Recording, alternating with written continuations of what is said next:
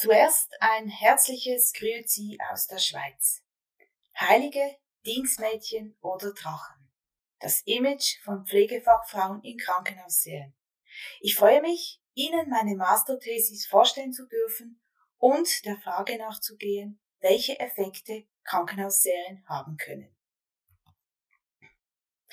Seit 1976 wird die Wirkung von Medien auf Mediennutzende untersucht. Neuere Untersuchungen prägten den Begriff CSI-Effekt, welcher auf die Krimiserie Crime Scene Investigation oder kurz CSI zurückgeführt wird.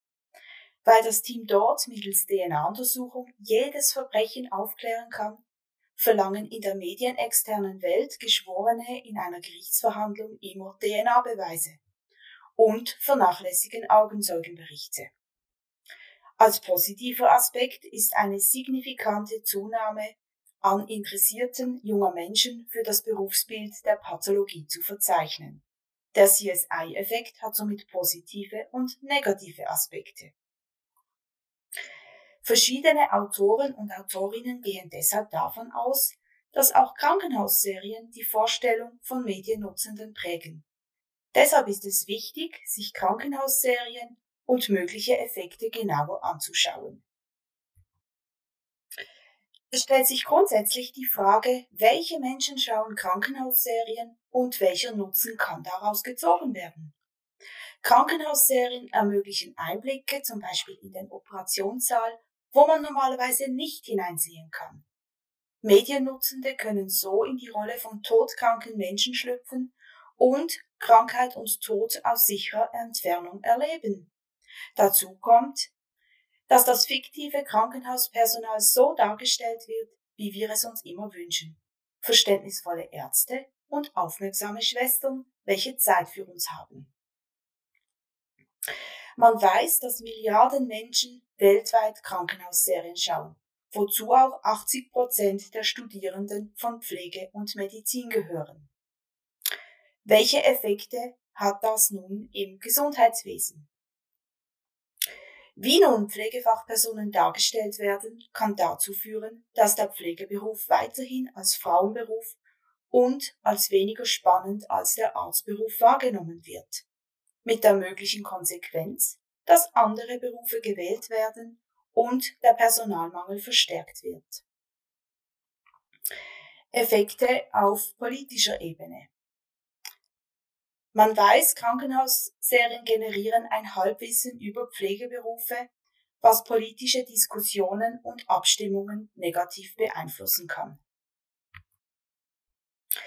Wie werden denn Pflegefachfrauen in Krankenhausserien dargestellt? Kalisch und Kalisch identifizierten unter anderem folgende Stereotype. Zuerst einmal der Engel, das ist eine sich selbst aufopfernde Pflegefachfrau, welche zu Gottes Lohn arbeitet. Dann haben wir das Girl Friday. Dort ist der Pflegeberuf temporär und dient nur dazu, einen Arzt oder reichen Patienten heiraten zu können. Die häufigste Tätigkeit des Girl Fridays ist das Telefonbedienen. Dann haben wir das Stereotyp des Dienstmädchens. Diese Pflegefachfrauen werden als weniger klug als der Arztdienst dargestellt und ihre häufigste Tätigkeit sind Dienstbotengänge. Dann haben wir das Stereotyp der unsichtbaren Pflegefachpersonen hier in der Krankenhausserie Dr. House. Die Ärzte und Ärztinnen dort führen sämtliche Tätigkeiten von Pflegefachpersonen durch, wie Blutentnahme oder Sitzwache.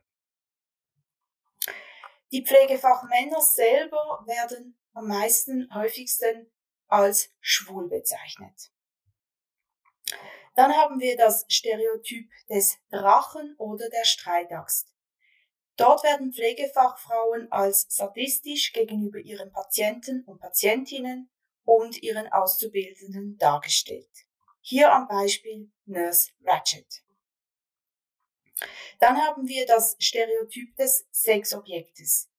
Dort werden Pflegefachfrauen in enger, kurzer Kleidung dargestellt, häufig in einem Minischip und sind gemäß dem fiktiven Arztdienst nur für das Bett geeignet. Wohlgemerkt nicht am Bett, sondern im Bett. Und zuletzt die Naughty Nurse oder unanständige Krankenschwester, welche in aufreizender Uniform in Werbespots dargestellt wird. Kommen wir zur Forschungslücke. Die auf der vorherigen Folie dargestellten Images wurden in englischsprachigen Filmen und Krankenhausserien untersucht, jedoch nicht in deutschsprachigen Serien und auch nicht systematisch in neueren Krankenhausserien. Deshalb lauten meine Forschungsfragen wie folgt. Wie werden Pflegefachfrauen und mit diesen interagierenden Pflegefachpersonen in ausgewählten Krankenhausserien dargestellt? Und welche Images vermitteln die dargestellten Pflegefachpersonen? Interagierende Pflegefachpersonen sind für mich andere Pflegefachfrauen, Pflegefachmänner, Auszubildende und die Pflegedienstleitungen.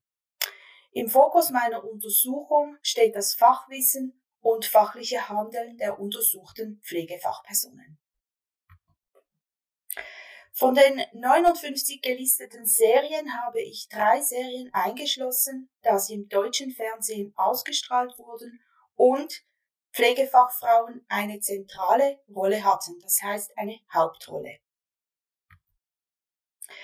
Bei den eingeschlossenen Serien handelt es sich um Für alle Fälle Stephanie, Nurse Jackie und Bettys Diagnose. Gemäß Rossmann werden die Serienfiguren in den ersten Episoden vorgestellt, deshalb wählte ich die erste Staffel und davon jeweils die ersten vier Episoden. Als Methode habe ich die inhaltlich strukturierende Inhaltsanalyse nach Cookharts gewählt, weil das Kategoriensystem sowohl durch deduktive als auch induktive Inhalte gebildet wird. Die Hauptkategorien wurden deduktiv mit bestehenden Aspekten aus der Literatur gebildet, beispielsweise die Kategorie Interventionen. Die Subkategorien dazu wurden einerseits deduktiv gebildet, hier zum Beispiel Pflegefachfrauen telefonieren im Gesundheitswesen, und induktiv, hier zum Beispiel die Kategorie Ausscheidung, wenn in einer Sequenz die Pflegefachfrau mit der Lebensaktivität Ausscheidung gezeigt wurde. In der Hauptkategorie gibt es noch diese Kategorie Irritation.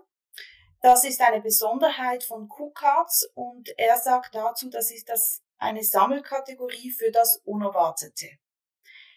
In diese Kategorie kodierte ich Beobachtungen mit dem Titel Ist das Aufgabe der Pflege? Beispielsweise hütet Stefanie in einer Sequenz die Kinder einer Besucherin auf Station. Die Ausdifferenzierung erfolgte laufend, da aufgrund der verschiedenen Serienfiguren und gleichzeitigen Aktivitäten jede Sequenz mehrfach gesichtet wurde. Insgesamt hatte ich 16 Pflegefachpersonen analysiert. Mittels einer Datenmatrix konnte ich eine serienfigurbezogene Auswertung erstellen und ableiten, welche Interventionen welche Pflegefachperson am häufigsten zeigt. Die Datenmatrix ermöglichte mir auch eine thematische Zusammenfassung, zum Beispiel mit welchen Ausprägungen zeigt sich eine Berufsgruppe, also hier die Auszubildenden, die Pflegefachmänner und die Pflegedienstleistungen. Ich werde Ihnen nun die Ergebnisse zu Stephanie, Jackie und Betty vorstellen. Stephanie wird stereotypisch als Engel porträtiert. Sie engagiert sich für ihre Patienten und Patientinnen entgegen sogar der Weisung ihrer Pflegedienstleitung und des ärztlichen Dienstes. Sie macht Hausbesuche in ihrer Freizeit und riskiert sogar ihre Kündigung, weil sie den letzten Willen einer Patientin erfüllt. Hingegen ihr Fachwissen ist fraglich bis nicht vorhanden. So beatmet sie einen Patienten während der Herzdruckmassage. Jackie wird mit verschiedenen Stereotypen porträtiert. Sie wird als Süchtige porträtiert, hier beim Medikamentenabusus, und als Pflegefachperson, welche während der Arbeitszeit Sex mit dem Apotheker hat. Insgesamt zeigt sie ein fundiertes Fachwissen, was sie gegenüber dem ärztlichen Dienst auch vertritt. Und sie hat einen forsch-sarkastischen Umgangston. Im Zitat sozialisiert sie die lernende Zoe bezüglich ihrer Formulierungen. Diesen forschen Umgangston pflegt sie auch gegenüber Ärzten, Vorgesetzten und den hospitalisierten Personen. Betty wird mit dem Stereotypen Engel und Pflege als Beruf porträtiert. Sie hat fundiertes Fachwissen und ist stolz auf den Pflegeberuf. Dies vermittelt sie auch ihrer Pflegeschülerin Talula. Im Gespräch mit ihr zeigt sie aktives Zuhören und Motivational Interviewing. Insgesamt zeigt sich bei ihr ein forsch-sarkastischer Umgangston. Wie auch in diesem Gespräch mit Dr. Behring. Ebenfalls in diesem Gespräch zeigt sich, dass in Krankenhausserien Pflegedefinitionen vermittelt werden. Wie hier zum Beispiel Ärzte tragen die Verantwortung, Schwestern halten Händchen. Zusammengefasst möchte ich folgende CSI-Effekte zur Diskussion stellen. Erstens. Die von Kalisch und Kalisch identifizierten Stereotype werden weiterhin von der Filmbranche verwendet. In den untersuchten Serien ist neu der Typ Süchtige dazugekommen, hier bei Jackie. Positive Stereotype wie zum Beispiel eine Pflegefachfrau mit Master- oder gar Doktortitel gibt es nicht. Zweitens. Pflegefachfrauen werden weiterhin geschlechtsstereotypisch als Mütter, Geliebte oder Objekt männlicher Begierde dargestellt. Hier am Beispiel von Elke und Dr. Tenschert. Drittens. Im Kontext der Schweizerischen Pflegeinitiative ist positiv zu bewerten, dass der Pflegeberuf mit Fachwissen bei Jackie und Betty dargestellt wird.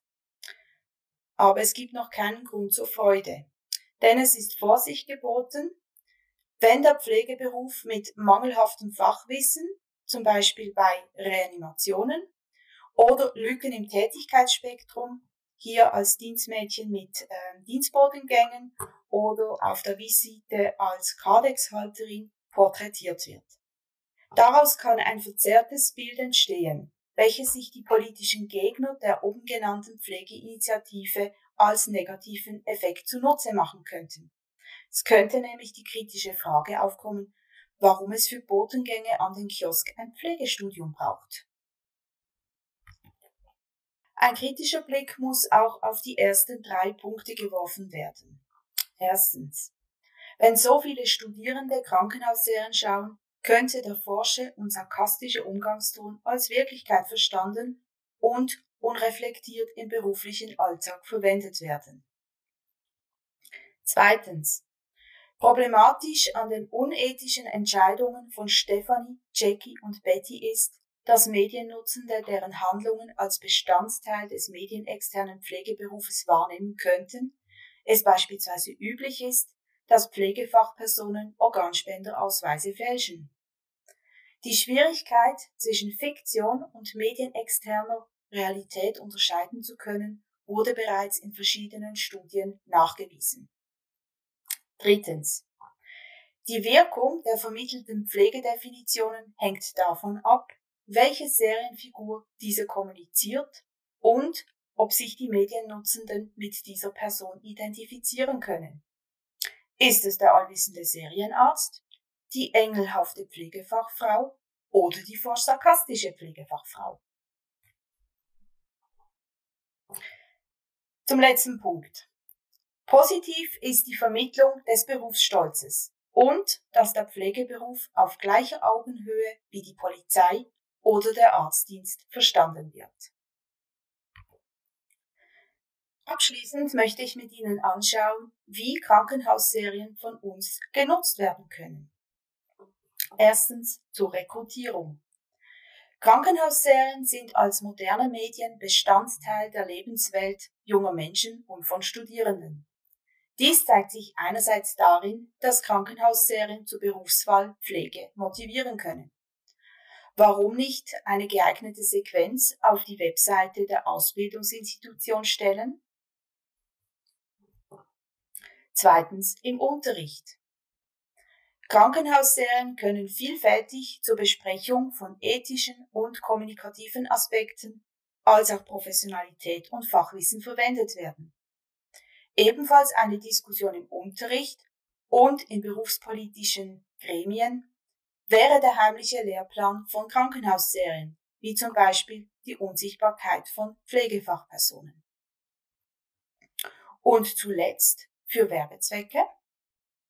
In Amerika stehen via einer staatlich finanzierten Plattform Wissenschaftler und Fachpersonen gratis zur Beratung von Filmen und Krankenhausserien zur Verfügung. Im Gegenzug werden im Abspann der Serie Webseiten der Fachorganisation und Institutionen eingeblendet. In Europa gibt es das noch nicht. Stellt sich die Frage, worauf warten wir? Bieten wir unsere Fachexpertise an für qualitativ bessere Krankenhausserien und nutzen die Gratiswerbung? Ich bin mir sicher, die nächste Krankenhausserie schauen Sie mit anderen Augen. Vielen Dank für Ihre Aufmerksamkeit.